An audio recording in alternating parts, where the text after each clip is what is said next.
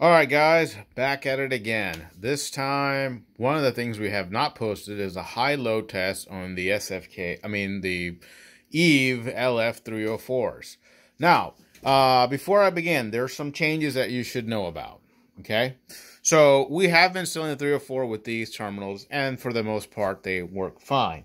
But as we've been seeing, some people are actually pushing these cells up in the 1C range, and terminals like this, 200 amps is really about the most you'd want to go with. You really should not be uh, going over more than that. So in our next batch of cells, they will be using the SFK terminal. As you can see, it is a much larger terminal. It has a pressed in steel bolt and a large aluminum base. Uh, so you can mount your things on there, but you have a much larger base and that's how our future cells are going to be. Uh, eventually, Eve may come out with their official adapter 304, and when that comes up, we'll carry both. And depending on what people prefer, we'll switch to to that. But I think you're gonna like this. It's low profile. It works. It's a single bolt, so it connects very easy. Also, plenty of room so that we can attach the alligator clip, and it's got our insignia on there, so you can be know it's gonna be from us.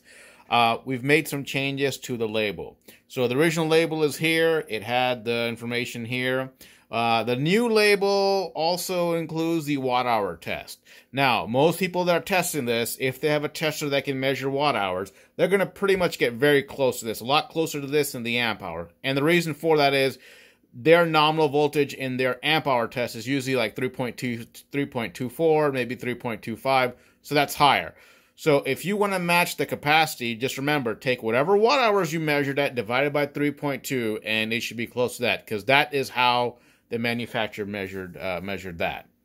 Anyway, uh, we have labeled it V2. I don't know if I'm going to keep that on there. Eve has kind of made some changes.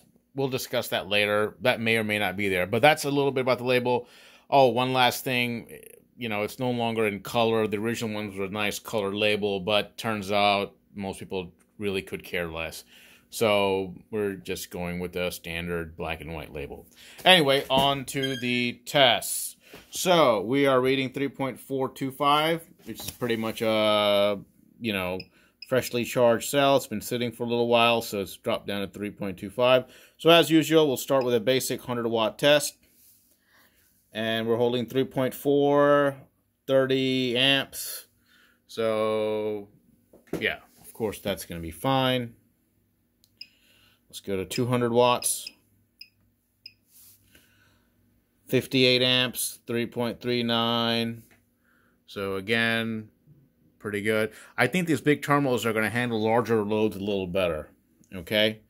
Anyway let's start jumping up. Let's go to 400 watts single battery 118 amp hours.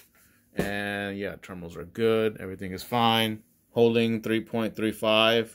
Pretty good. All right, starting to get into big, some big numbers. 600 watt load. 180 amp hours, holding 3.32. Not bad. Okay, start getting into really the upper range. We're just going to go to 400. This is usually when it starts maxing out our load. So, oh wow, uh, 3.3 volts, 227 amps. That's pretty darn impressive. Yeah, this uh, these 300H uh, uh, LF304s, man, they're they're no joke. They hold voltage really well. That's 750 watts. I think we can go all the way up to 800 watts and still keep it at 3.25. So 800 watts off of a single prismatic cell with our large SFK style terminal. Let's see what we get. 244. Okay, that's officially the most powerful cell that we've ever tested. It is holding 3.26 volts, drawing 245 amps at a constant 800 watts. Yeah, I think this with these our terminals is going to be if you like pushing huge amps, this is the way that's going to be. Uh, which probably means we might end up having a sale on these. Um, but yeah, so there you go. 246 amps, still holding 2 uh, 3.24 volts. Probably the most powerful cell that we've ever tested on our system because usually we can't get more than 750 watt hour, uh, watts uh, before amping out. So I'm going to go ahead and end, end that. And yeah, you can see it pretty much snaps right back.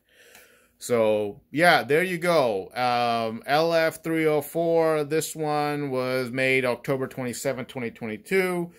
And I think the next batch we're going to be getting is going to be somewhere in the neighborhood of uh, probably made in April. I mean, oh, I'm sorry, uh, late March.